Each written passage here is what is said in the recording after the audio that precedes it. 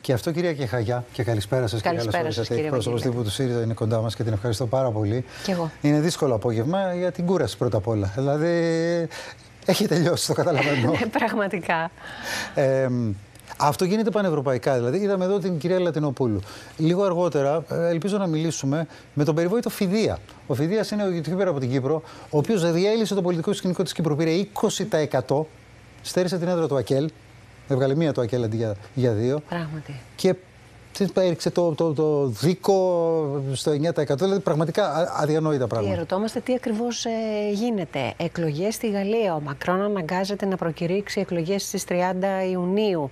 Παρατείται ο Πρωθυπουργός του Βελγίου. Ο Σόλτς ε, βρίσκεται σε μια δεινή. Σε ευθεία αμφισβήτηση βρίσκεται. Σε ευθεία αμφισβήτηση. Τεκτονικές αλλαγές στην Ευρωπαϊκή Ένωση. Ε, οι σοσιαλιστές στην Ισπανία έχασαν. Ακριβώς, είναι μια, μια κατάσταση που πραγματικά δείχνει ότι οι πολίτες δεν είναι ευχαριστημένοι από τίποτα. Ούτε από την Ευρωπαϊκή Ένωση, ούτε και από τις κυβερνήσεις τους. Με εξαίρεση τη Μελώνη στην Ιταλία, ε, που και εκεί υπάρχει εξήγηση. Δηλαδή, η Μελώνη έχει πάρει ένα μεγάλο ποσοστό. Δεν υπάρχει Σαλβίνη όμως αυτή τη φορά. Έχει πάρει 35% Σαλβίνη την ε, προηγούμενη. Σωστά. Η εξήγηση από τη μία, κύριε Βαγγελάτε, είναι Ωραία. Οι πολίτες δεν είναι ευχαριστημένοι από αυτό που βιώνουν. Ίσως και οι συνθήκες ζωής να έχουν γίνει πάρα πολύ δύσκολες. Όμως τι βρίσκουν στη συντηρητικοποίηση και στην ακροδεξιά; Αυτό είναι το θέμα, το οποίο δεν μπορούν να τους το εξασφαλίσουν οι δημοκρατικές και προοδευτικές δυνάμεις. Και τι τους λείπει από το λόγο της αριστεράς και δεν σας εμπιστεύω. Για να το, κάνω, να το πω και από, Όχι. Εγώ και από εσάς το ερώτημα. μαζί σας ότι αυτό πρέπει να είναι ένα σημείο προβληματισμού για όλους μας. Εμάς που πρεσβεύουμε τον προοδευτικό χώρο, το προοδευτικό κέντρο, την αριστερά, την κεντροαριστερά.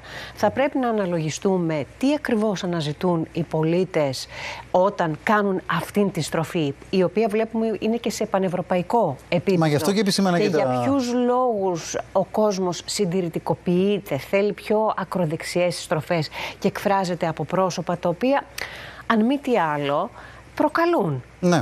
Να δούμε λίγο τώρα τα δικά μας. Τα δικά σας δηλαδή. Ε, δεν είναι το αποτέλεσμα που θέλατε. Δηλαδή, ο πύχης ήταν πιο ψηλά. Βεβαίως ήταν για, για όλα τα μεγάλα κόμματα πιο ψηλά. Πώς το αξιολογείτε σήμερα, την επόμενη μέρα; Θα, θα σας μιλήσω με ειλικρίνεια, γιατί ότι πέρασαν αρκετές ώρες, δεν διαφοροποιείται η αξιολόγηση που έκανα από την αρχή. Το αποτέλεσμα δεν είναι κακό για τον ΣΥΡΙΖΑ. Είναι καλό για τον ΣΥΡΙΖΑ δεδομένων των όσων είχαν προηγηθεί και θα τα εξηγήσουμε μετά. Ναι. Τα έχουμε πει αρκετές ε, φορές. Θα μου πείτε, θα μπορούσε να είναι και καλύτερο, ενδεχομένως θα μπορούσε να είναι και καλύτερο. Όμως δεν είναι ένα καταστροφικό αποτέλεσμα. Είναι ένα αποτέλεσμα που επιβεβαιώνει ότι είμαστε η πρωταγωνιστική δύναμη στο χώρο της κεντροαριστεράς, του προοδευτικού κέντρου και της αριστεράς και ότι από εδώ και πέρα μπορούμε με το κατάλληλο κυβερνητικό πρόγραμμα που σας διαβεβαιώνω ότι θα παρουσιάσουμε στο επόμενο διάστημα να πείσουμε τους πολίτες, πολλοί εκ των οποίων προφανώς δεν πίστηκαν από την μέχρι τώρα πορεία μας γιατί είχαμε και μόνο δύο μήνες ανέφελους σχετικά εννοώ σε σχέση με τα εσωκομματικά μας να κάνουμε την προεκλογική από το κόμμα δεν είχαν και κάποια ιδιαίτερη τύχη. Τώρα κύριε Ευαγγελάτη το είδατε κι εσείς. Είδατε ότι οι διασπαστικές ε, δυνάμεις πάτωσαν, για να το πω ξεκάθαρα. Δηλαδή δεν βρήκαν καμία ανταπόκριση στην ε, κοινωνία, στον κόσμο της αριστεράς. Ακόμη και η κυρία Λατινοπούλου με τη φωνή της λογικής ξεπέρασε αυτές τις ε, για την αριστερά, δυνάμεις. Για την αριστερά μιλάω.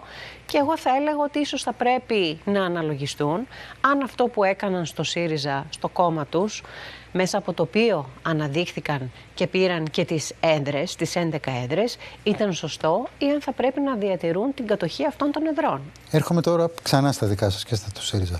Ναι, προφανώς δημοσκοπικά είχατε φτάσει πολύ πιο χαμηλά. Και φτάσατε περίπου στο 15%, το 14,92%.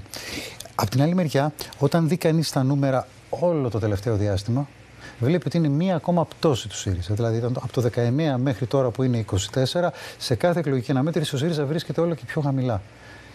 Σας λέει κάτι αυτό; Κύριε Βαγγελέτα, θα κάνω μία προβολή στο πρόσφατο παρελθόν. Το Φεβρουάριο, στις 24 Φεβρουαρίου, είχαμε δημοσκοπικό έβριμα που έλεγε ότι ήμασταν σε μονοψήφιο ποσοστό. Ναι. Νομίζω ότι ήταν το χειρότερο ε, στα τελευταία χρόνια του, του Το καταλαβαίνω για τις δημοσκοπήσεις και εργαλείο της δουλειάς μας είναι. Ακριβώς. Αλλά μιλώ για την κάλπη. Από εκεί και πέρα Έχετε απόλυτο δίκιο γιατί η κάλπη πάντα μιλάει και η κάλπη βγάζει τα πολιτικά αποτελέσματα και εκ των πραγμάτων και τα συμπεράσματα για τα οποία μιλάμε σήμερα. Είχαμε μία σταθερά ανωδική πορεία.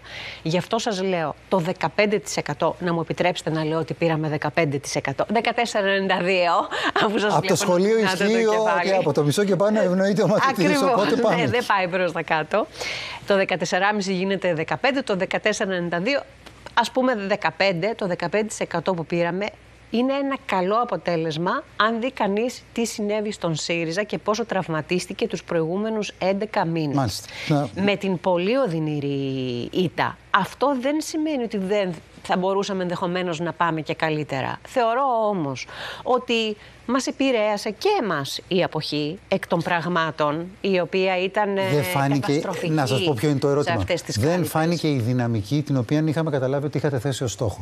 Η δυναμική ενός κόμματος το οποίο ανεβαίνει, που μπορεί να φτάσει και το 20%, να πάει στο 18%, να παίξει τον ηγετικό ρόλο στην αντιπολίτευση. Δηλαδή, είστε πια ε, όχι πολύ μπροστά από το Πασόκ. Διακριτά τρίτο κόμμα, Δεύτερο, δεύτερο κόμμα, κόμμα. χωρίς αμφιβολία από το τρίτο λοιπόν κόμμα. Το στόχο όμως το πετύχαμε. Αλλά Ξέρετε, μέχρι πριν... Τα κινηματικά χαρακτηριστικά που ακούσαμε από τον πρόεδρό σας δεν τα είδαμε. Θα τα δείτε, κύριε Ευαγγελάτε, θα τα δείτε στην πορεία τα κινηματικά χαρακτηριστικά, τα οποία έχουν αρχίσει και σχηματοποιούνται, θέλω να σας πω.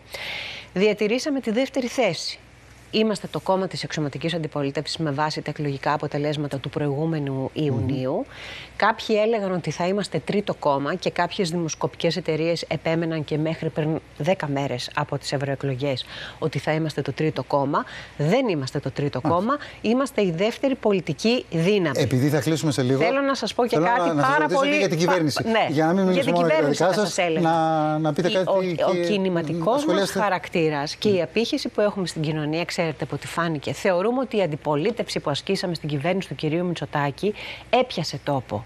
Και ότι το ποσοστό που πήρε η Νέα Δημοκρατία έχει χαρακτηριστικά αντίδρασης και δυσφορίας της κοινωνίας. Ακόμα και αν είναι έτσι. βάλαμε είναι, και εμείς το Δεν είναι απίθανο. Μένει να πείσουμε τους πολίτες. Μπορεί να μην πήγαν στη Νέα Δημοκρατία, αλλά δεν ήρθαν και σε ναι, ναι, μέχρι να πείσουμε τους πολίτες που ακόμη κρατούν μία απόσταση από εμάς ότι θα έχουμε ένα ξεκάθαρο κυβερνητικό πρόγραμμα που θα τους εκφράζει. Ε, φαντάζομαι ότι θέμα ας πούμε, εκλογών να ζητήσετε βουλευτικό ή άλλο δεν τίθεται μετά το χθεσινό αποτέλεσμα. Κοιτάξτε κύριε Βαγγελάτε, είχαμε ζητήσει εκλογές, θυμάστε πότε, όταν είχε προκύψει το σκάνδαλο με τη διαρροή των emails από το Υπουργείο των Εσωτερικών, κάτι το οποίο απέρριψε κατηγορηματικά ο. Σήμερα, μετά το χθεσινό αποτέλεσμα, επαναφέρεται θέμα εκλογών; Δεν έχουμε επαναφέρει θέμα εκλογών.